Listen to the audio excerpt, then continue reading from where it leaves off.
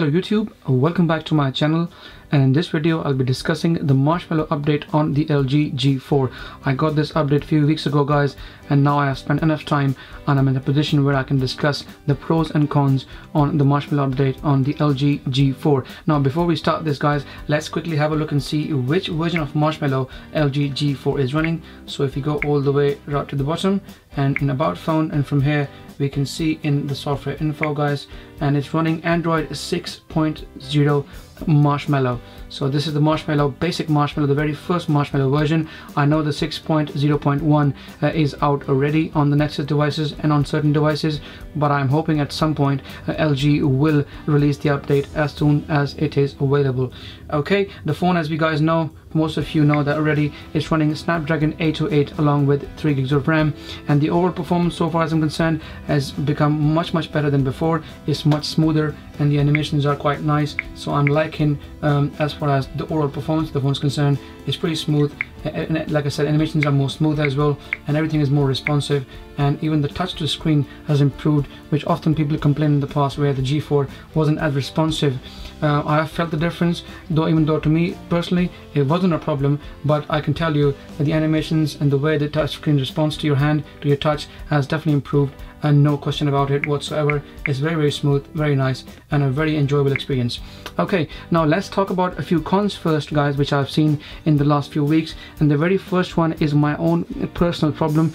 Uh, to be honest this that would rather be wrong to say personal problem but also something which I really use on everyday basis and I am really unhappy with this and which is my Bluetooth wireless speakers my Bose Bluetooth wireless speakers which I often connect to my LG G4 I listen to a lot of music guys nearly uh, almost a couple of hours every day to work and back. So this is one thing which I use often and every time I connect this to LG G4 if I'm not doing nothing just listening to music is fine. But as soon as I start checking my messages and if I am doing my social media bit or anything anything else whilst the music is being played uh, the music starts to crack up. There's distortion in the music there's also noise in the music and that's got definitely something to do with the Bluetooth streaming which is being obviously affected uh, ever since Marshmallow has landed on the phone.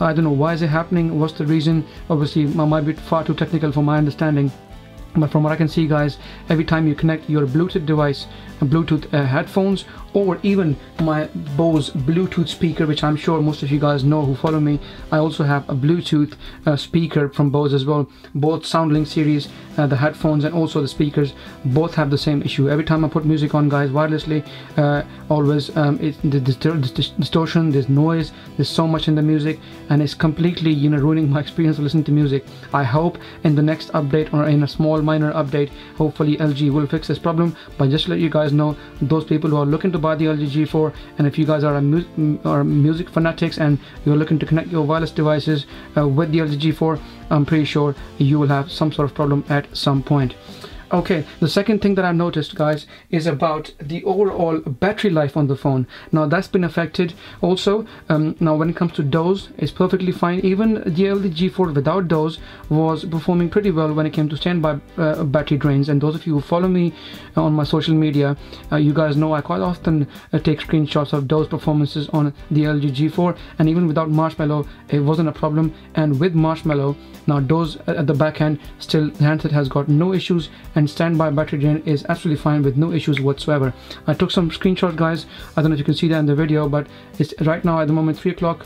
Uh, it says on the 7th of February I uh, took it off from full charge and then when I the next day I checked it at 11 uh, 4 past 11 and it only lost 2% which is absolutely fine and no problems there whatsoever. And when I tested again guys uh, at around 244 on the 8th of Feb again and I was uh, when I checked it around 1224 it was still at 100% so not too bad. A very good run here uh, just under shy of 11 hours and I was still at 100% with not even 1% battery loss. So as far as the standby timing is concerned the battery drain is not there at all and Marshmallow and Doze have settled on the LG for really well. In the first couple of days I had some issues where it was draining 2-3% every few hours but as time went on uh, Doze really settled down well on the LG G4 and no issues there whatsoever. But the area which I don't like is the actual overall screen on time guys. That's been affected. In fact I would say I'll go as far as say it's been affected severely. I was getting around four to four and a half hours of screen on time with Wi-Fi on Lollipop before Marshmallow. But uh, unfortunately ever since I've had the Marshmallow update on the phone I'm all I'm only getting around three to three and a half hours of screen on time and this is on Wi-Fi and on 4G I think this is going to be even worse. You won't be getting more than two and a half to uh, maybe maybe maybe three hours shy of three hours maybe but you're not going to get much out of it. But overall the battery performance has definitely been affected and I took quite a few screenshots guys you can see using the phone quite heavily using my social media apps taking photos and this that the same stuff which I was doing before but now I'm only getting uh, three and a half to three hours of screen on time. As you can see here guys I used the phone the other day with 4G and Wi-Fi both mixed up. I was listening to my music same habits as I had with my lollipop same practices on on on uh, on marshmallow. And I was able to uh, when the battery was down to 32% I was able to get only 1 hour and 56 minutes of screen on time which is absolutely ridiculous. With lollipop I by then by this time I would have had normally uh, two and a half hours of screen on time. But here it's obviously dropped down. So further down Hey guys again a few more screenshots as you can see. And doing the usual stuff that normally most people do pages manager social media soundcloud whatsapp viber skype all that kind of stuff. And here again uh, down to 44% and I was able to get only 1 hour and 33 minutes of screen on time. So the screen on time has definitely been affected. Again as you can see guys 77% uh, and I was able to squeeze out in the end I think only let's have a look. At uh, 2 hours and uh, 51 minutes of screen on time and this is around when the battery was down to 17% uh, like I said guys same way of usage as I was using when I had the phone with lollipop on and same problems um, not sorry not same problem different problems and you have the SOT now uh, decreased severely. So expect to get around a three to three and a half hour screen on time with Marshmallow. And unfortunately I'm, I'm, I'm you know I'm, I'm very disappointed as well at the same time with the LG G5 out now and powering the same kind of quad HD screen and even a smaller battery my hopes are not really that high guys to be honest. This phone has a bigger battery than, than the G5 this has 3000 mAh battery. That phone only has got uh, a 2800 mAh battery. So I don't know how is that going to work out and what LG are thinking and what kind of optimizations are they going to provide us. If this is this is what the batteries are going to like, suffer, like to suffer then I'm afraid Samsung will be all over the place anyways as you can see in the S7 and the S7 Edge they have bigger batteries. Anyways again guys down to 9% and 2 hours and 56 minutes of screen on time which is again very very disappointing. Same goes again. I've took a few screenshots and I'm not getting more than uh, 3 hours guys as you can see around 52% uh, at 2 hours and 7 minutes slightly better than before but that too because I had to reduce the brightness and you know not to use the phone that aggressively. Again I tested those just to make sure for the third time at around 126 in the morning the battery was up to 100% and when I took it off the charger at 1308 after nearly um, over 12 hours in fact or just about 12 shy of 12 hours uh, the battery was still 100% so the battery drain and standby is working absolutely fine guys with no issues whatsoever. So the battery life overall when it comes to standby battery drain is absolutely fine no issues. But when it comes to I'm afraid the, the overall screen on time the battery has been affected and I'm sure all the LG fans watching this video will be quite disappointed. 3 hours and 15 minutes of screen on time with the battery down to 7%. So the overall screen on time has been affected. It's been severely affected I would say and with 4G you're not going to get more than 2.5 hours of screen on time and with Wi-Fi at max you're looking at maybe around 3.5 hours of screen on time. So bad news there guys now uh, let's also talk about a few things which LG have added which I've liked. For example um, the, the phone had no uh, silent mode before. It was very annoying. You could always you could only have uh, an active profile or a vibrating a vibrating profile. So now you can have you can put the phone to silent. Unfortunately you have to do it with a button at the back here. So if you put the volume button down it goes down but it still doesn't go to silent. You have to press this bit for it to give, get to silent mode. So it's again annoying. They should have put that in the button instead instead of we trying to manually tap the screen or the other way is if you pull uh, the drop down menu you will see here the speaker sign there. So you have to tap this once for active profile for vibration and then for silent. These are the only two ways you can put the phone into active or silent vibration and no other way uh, it's a bit cumbersome for me to be honest because there are other phones out there with, with so much much easier way to put on silent mode but with LG uh, that's how it works unfortunately. Okay also now you can uninstall from the home screen here for instance if you had any app for example this bus countdown app you can see as soon as I press it the uninstall option comes up on the screen straight away. So now you can uninstall it without even actually going into the app drawer. Previously you had to go into the app drawer and then uninstall from here but now you can be on the home screen uh, press any app and then you can also uninstall from the home screen as you can see in the top left corner just right there.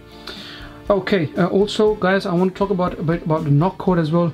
It's very annoying i don't like it um, and why do i say that? I will show you in just a moment. So if you go into settings and if you go into security which is lock screen there you guys. Now if you clicked on uh, select screen lock. As you can see here you have the knock code option. Now if I tap on the knock code option it says tap on knock code. The knock code must be at least six taps and use at least three different quarters. Now it was previously four taps. Now you have to type it six times which is very annoying guys. I have tried it quite a few times and to be honest it's so difficult to do this every time. Sometimes it doesn't respond. Sometimes it's not accurate. So I hope with more updates they will keep make it more accurate. But it's so difficult to remember six code at times. You're in a rush. You're trying to check your text message. You're trying to make a phone call or you want to do something really really quick. And I think six taps is a bit too cumbersome. It's very annoying. It's not practical at all. So I won't even bother with knock code anymore. You have the pin option the face option all the other options. I'm sure most of you will rather be using that instead. So it's very annoying that they have got now six. And I hope sincerely hope that they don't increase the taps anymore because six and four are already too much. Okay now on tap is also available guys. Now so if you type on any message you press this button there the now on tap Google comes up because right now I'm on Wi-Fi otherwise um, this would have worked straight away. So you press the G bit and the browser opens up and it tells you whatever is there on the screen because the Wi-Fi is not there that's why it's not working guys but it works. And yeah, as long as you have the relevant stuff it will give you information. Sometimes it works uh, sometimes it might not pick pick stuff up but it's more of a hit and miss and I'm sure they will improve it with time but it definitely works. Okay also the RAM usage now guys you can go into settings now and from here you can go into the memory bit and from here you can see the RAM usage straight away. Now this is also one thing which I'm slightly disappointed. Ever since the Marshmallow update guys as you can see the RAM usage is far too high.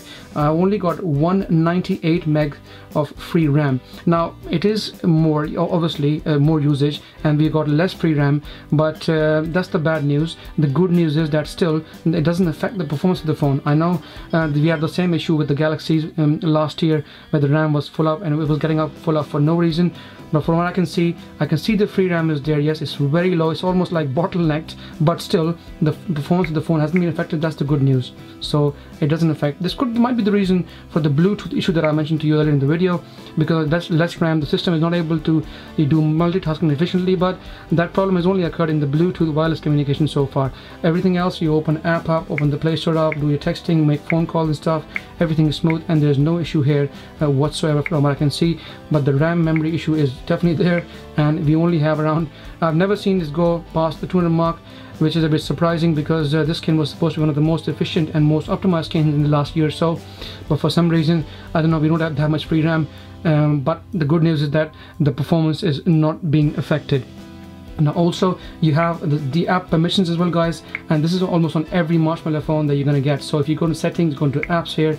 Now here you can set individual permissions to apps. Say for instance if I was to go into the camera bit here and then you have here the permissions bit. So if I go into permissions bit here I can stop camera from doing individual stuff. Say for instance if I do not want the camera to turn uh, itself on at all and and stop on when I try to use it. So if I disable this it says if you deny this permission excuse me uh, basic features of your device may no longer function as intended. So if I deny, then if I go back into the camera guys, there we go, and you'll see no permissions, camera needs permission to take photos and record videos. So if you allow it, then it will obviously ask you once more, allow camera to take pictures and record video, and if you say allow, it will allow, and it will take over the setting which we changed in back in the app settings. So you have now individual app settings also present in the phone overall so guys this was the overall uh, uh, you know uh, view of the LG G4's Marshmallow update.